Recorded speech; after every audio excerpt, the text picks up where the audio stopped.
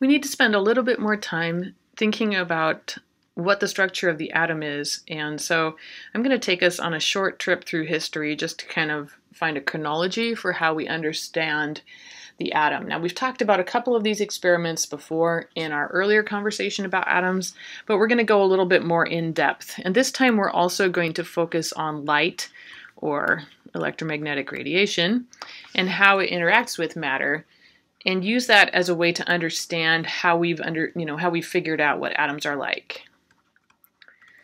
So atoms were first coined as a term here back in about 400 BC by the Greek philosopher Democritus. And I'm only mentioning this because it is a concept from that time that just meant some unit of indivisible matter. And so the term got recycled, you know, however many years later, um, when people were actually exploring the atomic structure of nature in a more quantitative way. So we're going to fast forward a long way to Antoine Lavoisier, who we've talked about a little bit. And the reason why he comes in here is that besides for being one of the one of the founders of modern chemistry, uh, he coined the term element, and of course, he also did a bunch of experiments in identifying them and separating them using physical and chemical methods and pioneering the scientific process. So, this is 1777. And uh, fast forward a few more years, 1803, you have John Dalton, who we've heard of. And Dalton was recycling now this term atom and talking about them as tiny particles. And he was the one, of course, who has been studying gases. Remember Dalton's law? And so most of his conclusions had to do with the behavior of gases. So he proposed that atoms of each element were all different from each other's, and one of their differences was their masses. So 60 plus years later, you have Dmitry Mendeleev,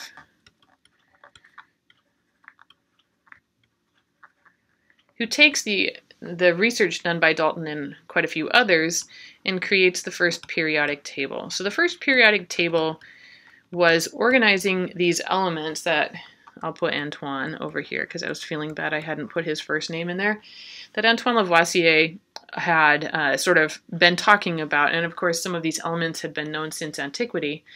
And the periodic table organized the elements based on their properties. And scientists had studied the properties of elements using different chemical reactions. So they looked at how they reacted under similar uh, properties. Here we go. How they reacted under similar circumstances. So what does this do when we put it into water? What does this other thing do when we put it into water? What does this thing do when we put it into flame? What does it do when we put it into oxygen?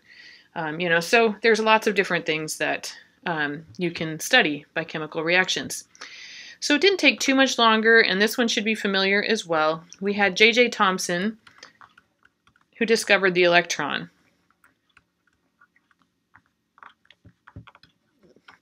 Of course, he didn't call it an electron at that point. He called it a cathode ray.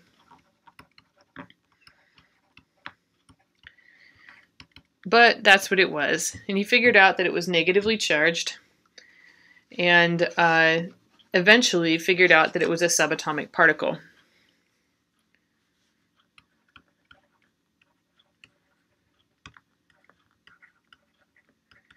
So J.J. Thomson actually did propose at this point a model of an atom here where he thought that the positive and the negative charges in the atom were kind of equally spread around. I guess I better make the same number of positives and negatives. And this was called, or by him anyway, he, he described it that the electrons in this atom model were spread around like raisins in a plum pudding. And of course, none of us have a, a plum pudding in the way that he meant. It's sort of a dense cake that has raisins throughout it. So you might think of it as more like a chocolate chip cookie, which is a little bit more of a familiar analogy uh, to those of us in the United States.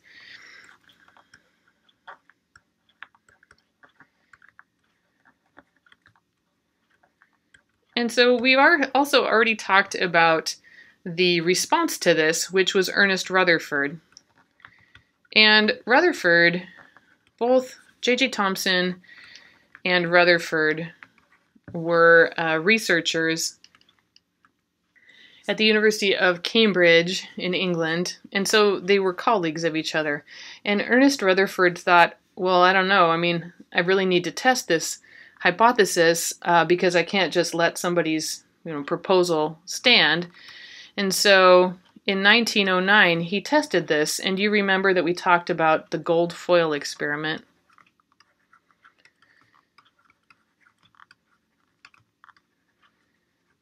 And he discovered that atoms are mostly empty space.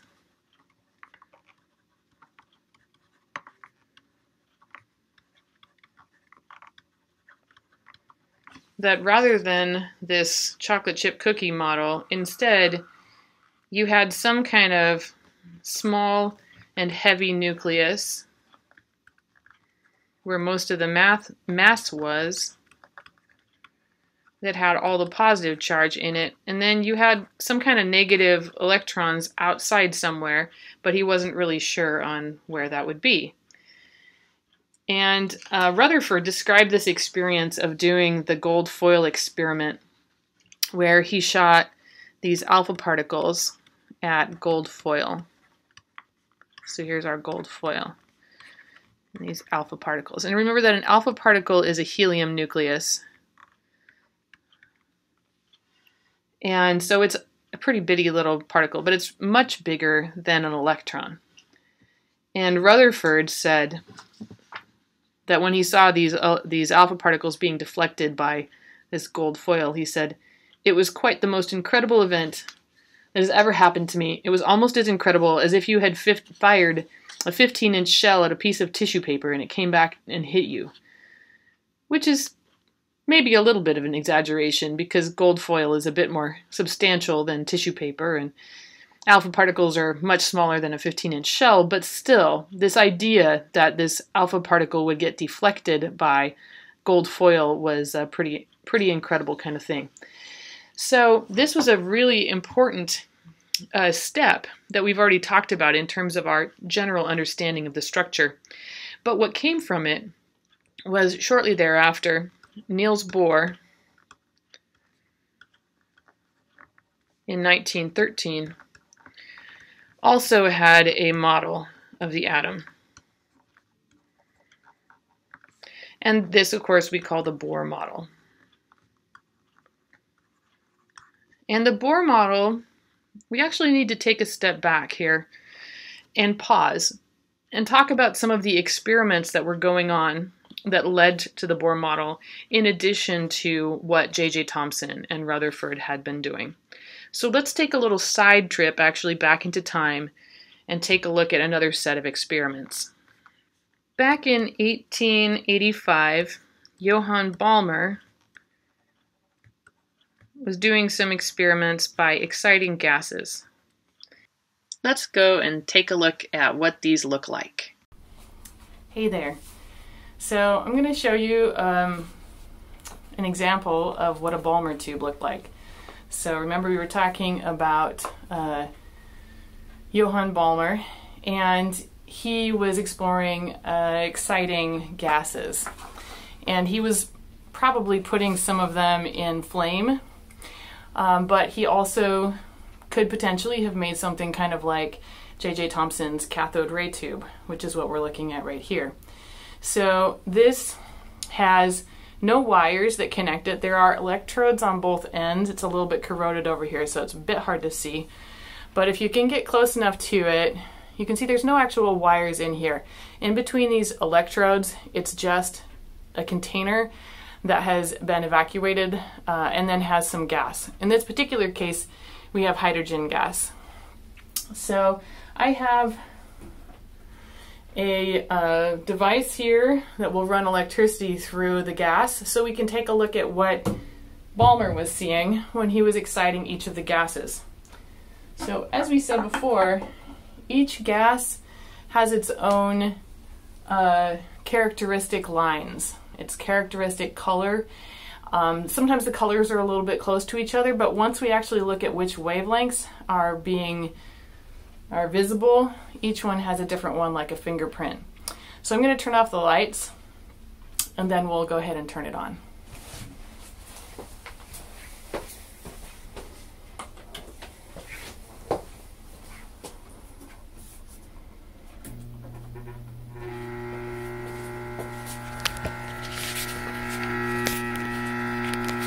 Sorry, it kind of vibrates.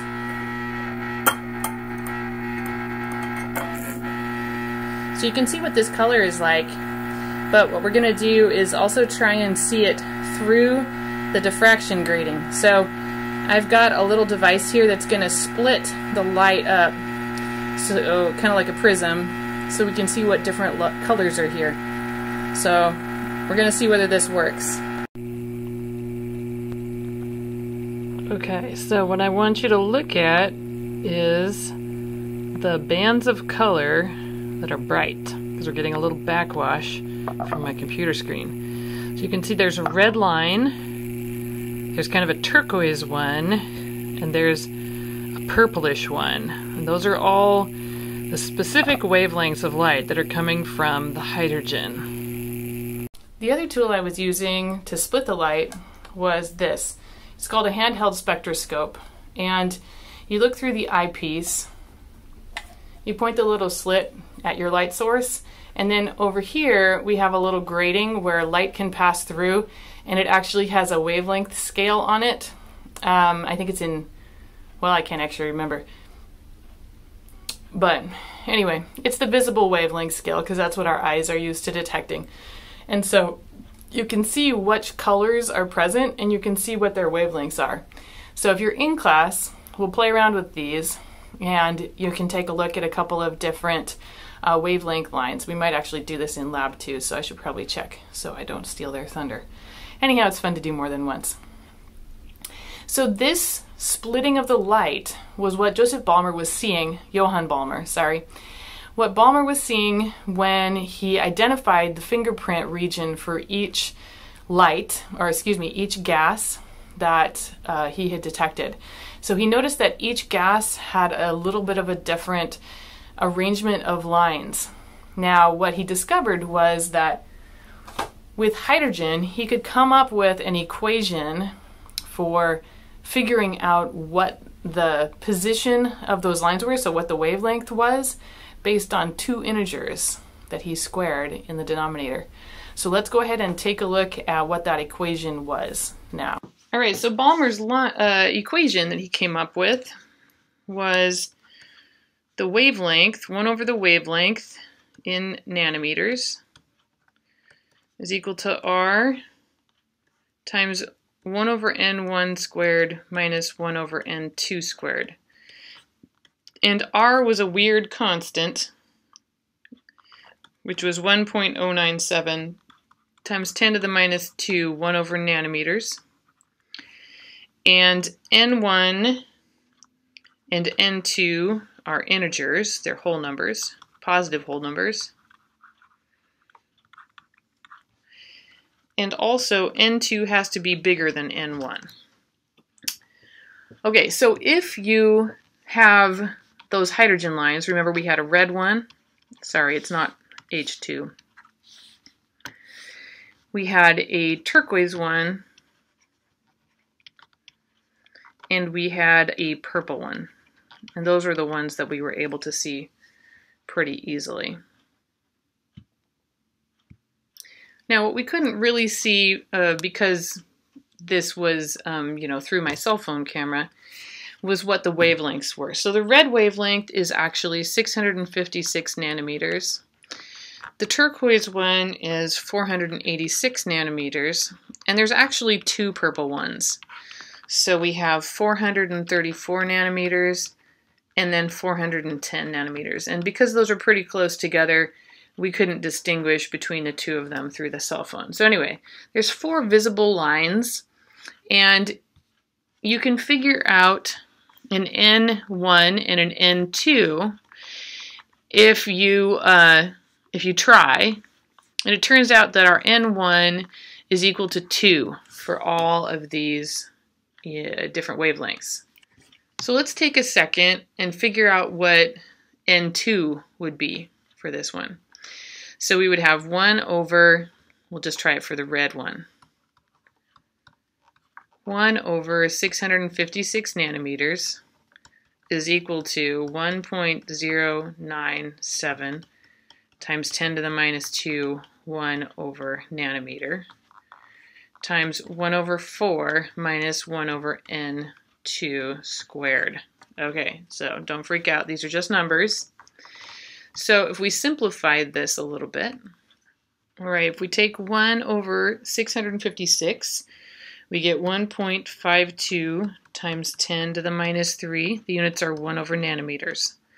So we can divide out this number, 1.097 times 10 to the minus 2, 1 over nanometers. And the units will cancel out and we'll get 0.1386, I think, is what I get. So that's over on the left-hand side now because we divided out this number. And on the right-hand side, we still have 1 over 4 minus 1 over n2 squared. So 1 over 4 is just 0.25. So we can subtract that from both sides. So this will leave us with negative 0.111 is equal to 1 over negative 1 over 1 over n squared. So let's get rid of that negative sign. And now this is just a process of algebra.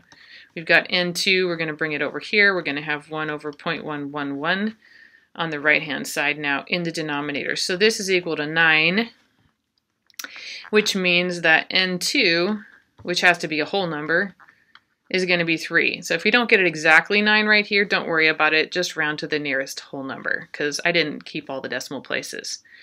So this is telling us we have some kind of weird integer relationship that randomly happens to work with light from the hydrogen. So, random, right? Somehow we have n2 is equal to 3, n1 is equal to 2. And this works for the other integers as well. That this one, the turquoise one, turns out to have an n2 is equal to 4, the purple one, the first one has an n2 is equal to 5, and this other one, uh, excuse me, these all need to be n2s. Sorry about that. This one has an n2 is equal to 6. Balmer had no idea why this worked. Like, zero. So remember we were talking about uh, Niels Bohr a minute ago? more than a minute now. But Niels Bohr said, well, what if what's happening in these atoms is that you have your nucleus and then you have like little orbits. So I've got an n equals 1 orbit. I've got an n equals 2 orbit. I've got an n equals 3 orbit. Sorry, I'm not making a very good circle here. It's supposed to be a concentric circle. Here's an n equals 3 orbit. And so he said, what if the wavelength, this red wavelength, happens because my electron gets excited up to this n equals 3 level, and then it drops down to this n equals 2 level, and it gives off some light that's red.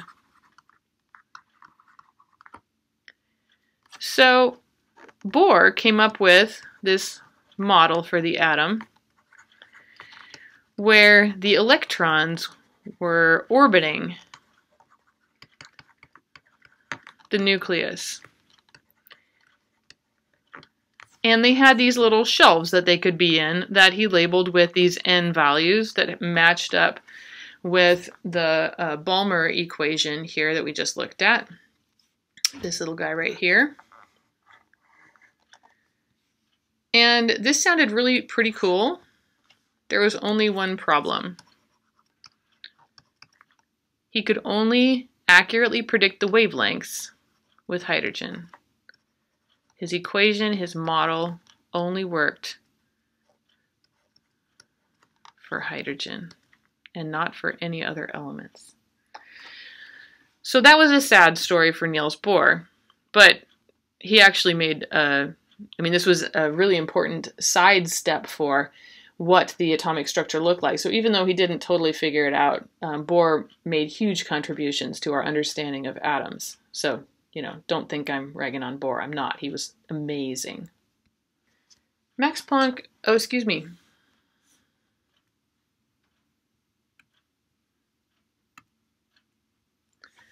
Niels Bohr had an additional piece of information that we needed to know about light. So previously we were talking about light as a wave. And this was the understanding that Balmer had when he was working on his model. Bohr had a little bit more information, and he was also relying on the work of another scientist, Max Planck, who was working on blackbody radiation, which we're probably not really going to talk about here much. But you can look him up. And what Max Planck figured out was that light doesn't just act like a wave. Light also acts like a particle. And the reason why this was important was because of the energies. Notice that Bohr had these little chunks of energy that were being given off based on the distance between these n equals 3 and n equals 2, for example, little orbits.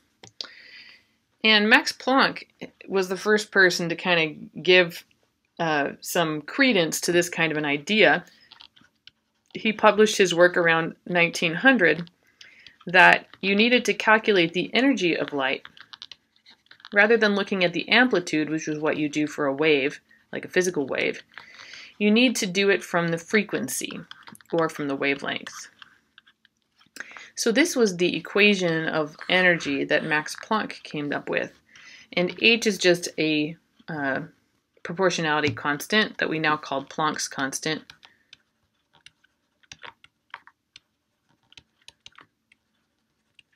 And it's 6.626 times 10 to the minus 34 joule seconds. You don't have to memorize this number at all. Anyway, so uh, so Bohr knew that light was quantized, is our fancy word.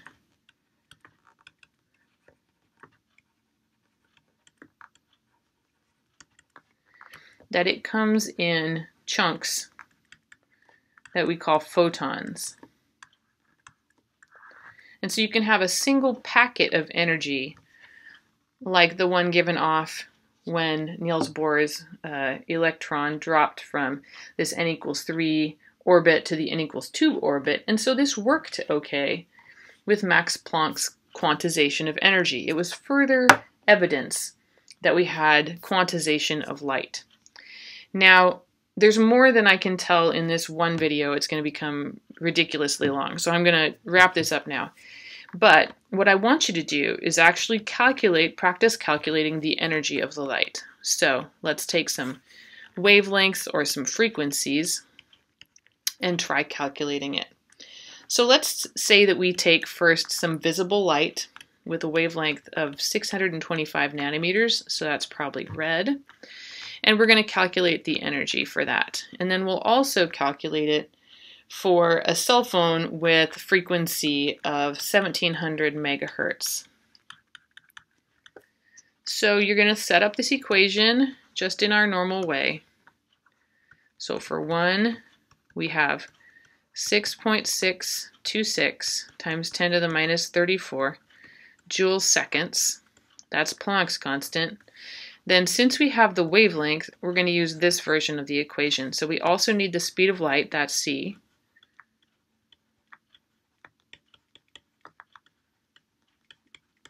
And then we're going to divide by the wavelength.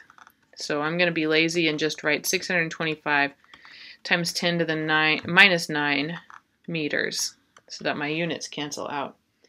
So when I calculate that, I'm going to get 3.18 times 10 to the minus 19 joules. So this is a pretty small amount of energy, but this is for one photon of red light with the wavelength 625 nanometers. So if we're using frequency instead, we don't need to use the wavelength and we don't need to use the speed of light because, of course, I hope that you noticed that this just comes, the substitution that I just did here is from our original equation for the relationship between the wavelength and the frequency of light. So this isn't a new equation here. So there's my Planck's constant.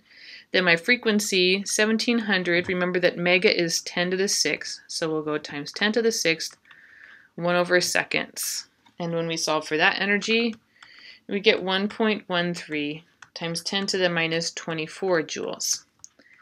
So this is a radio frequency, and so it has less energy than visible light. So we're going to finish up with this video here, but we'll continue on with the other discoveries that led to our modern understanding of the atom uh, in the next video.